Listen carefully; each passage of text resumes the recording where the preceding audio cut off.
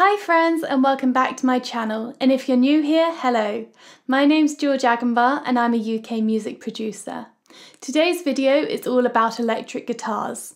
These really are a staple of lots and lots of songs and the great news is there's lots we can do to them in terms of producing and mixing them. So in this video we're going to have a look at how to record an electric guitar and our choice of amps and pedals in Logic.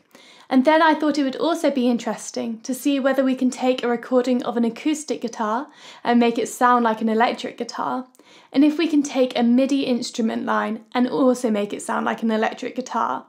So if you want to learn a bit more about this, make sure you stay tuned and hit the subscribe button and notification bell for new videos every Wednesday. And things will never be the same when I hear your name since you kissed me first thing we need to do is to record the electric guitar into the DAW. There are two main ways to do this, either recording a physical guitar amp or recording straight into the DAW. I would say that recording a physical guitar amp is probably the most classic technique for recording electric guitar. But I think that unless you're certain that it's the absolute guitar sound that you want, it's not the best way. And that's because recording a physical amp means that your recording will be coloured by the tone of the amp, the settings on the amp, your room, and your mic choice, which may not be ideal. However, if you are going to record a physical amp, I would advise that you record the guitar clean with minimal EQ settings and minimal effects, as this will give you the most flexibility during the producing and mixing stages. We can also record a dry electric guitar track straight into the DAW.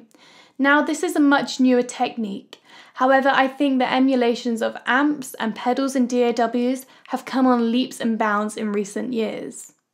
So we just need to remember that electric guitars normally have passive pickups. So in order to record them, we'll either need to use a DI box or have an interface with a special input that allows you to do this. So now that we know how to record the electric guitar, let's have a look at what we can do with it in the box.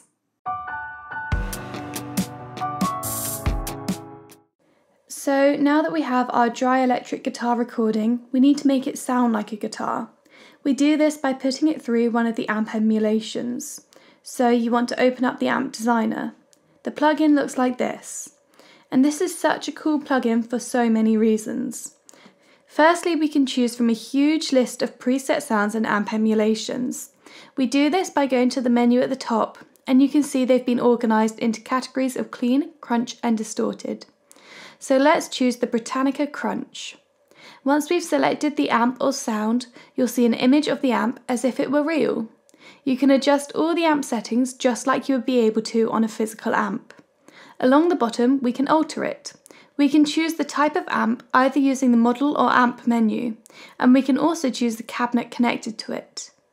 Talking about the cabinets, this plugin also gives us so much control of which cabinet we use, the position of the mic, and even the type of mic we're using on the cabinet. We choose the mic using the menu along the bottom, and we can change the position of the mic by hovering near the image of the cab and then dragging the dot representing the mic on the graph. I just love the way that the mic in the image moves as well. So let's hear the guitar recording before and after it's been through the Amp Designer plugin.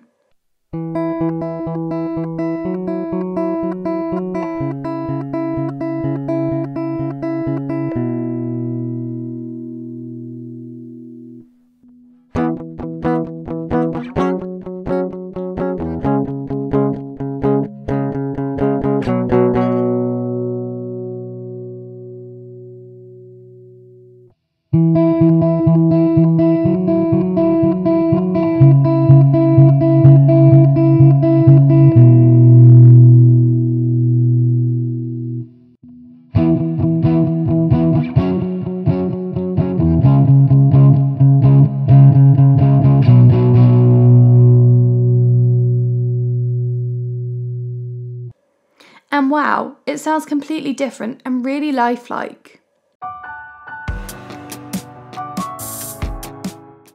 Now, that's all great if we have an electric guitar that we can use to record. But what if we only have an acoustic guitar? Can we get the same or somewhat similar results? I've recorded a very similar acoustic guitar track. So let's put it through these amp and pedal emulations in Logic and see whether we can get a similar sounding result to the electric guitar. So here's an acoustic guitar recording where I've played in the exact same track that I did with the electric guitar.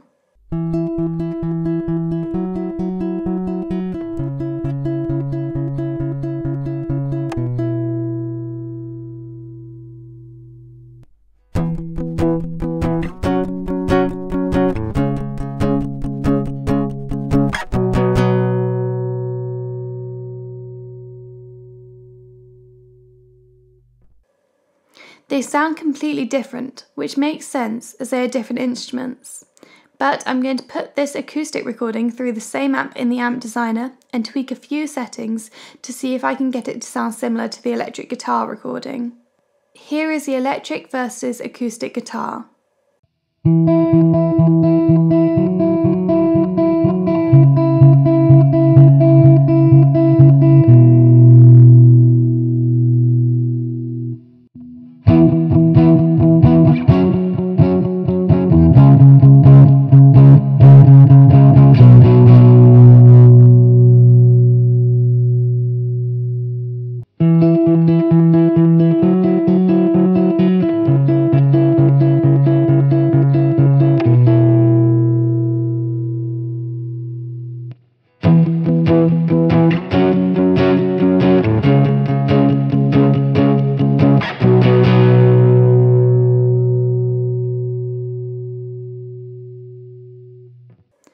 Okay, so they don't sound exactly the same, but the acoustic guitar certainly doesn't sound too acoustic anymore, which was the main aim.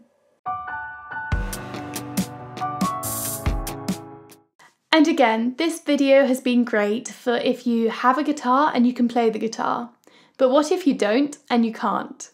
I thought it would be really interesting and actually just quite fun to see whether we can take a MIDI piano instrument, run it through the amp and pedal emulations, and see whether we can mimic an electric guitar sound.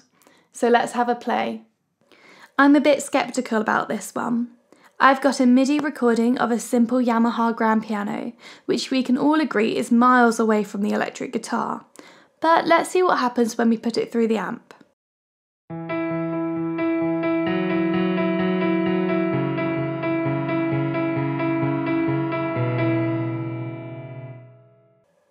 Okay, so it sounds slightly better, but it's still sounding quite a lot like a piano. I've had a look at the frequencies of the electric guitar compared to the piano, and so I'm going to EQ the piano track a bit to make it more similar to the electric guitar and see if that helps. Now let's compare the electric guitar and the piano sound.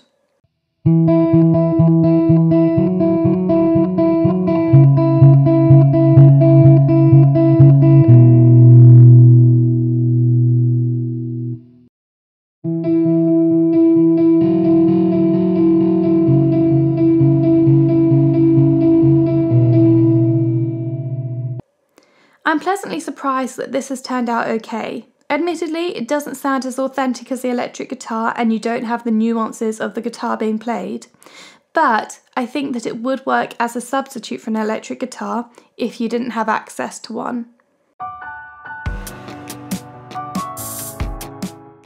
So those are some ways that we can play around with electric guitars in Logic. I think that the amp emulations and pedals that Logic gives us are really great and give us so much flexibility when wanting to use and get the electric guitar sound. I also really like the way that you don't necessarily have to have an electric guitar to get that sound. It just shows how you can always think outside the box and find a workaround for things. Thank you so much for watching this video. I hope you found it useful and interesting. Let me know what you thought in the comments below and if there are any other videos you'd like to see in the future. Make sure you hit the subscribe button and notification bell and I will see you again soon.